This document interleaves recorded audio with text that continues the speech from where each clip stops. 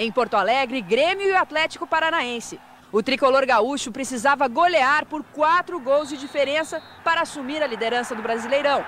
Chegou muito perto e pênalti no Grêmio é bola para Roger. Assim, ele marcou todos os gols do jogo.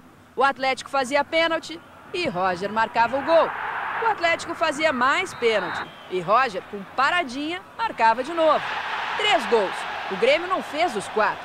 Venceu por 3 a 0 passou o Cruzeiro no saldo de gols e só fica atrás do Flamengo no número de gols marcados.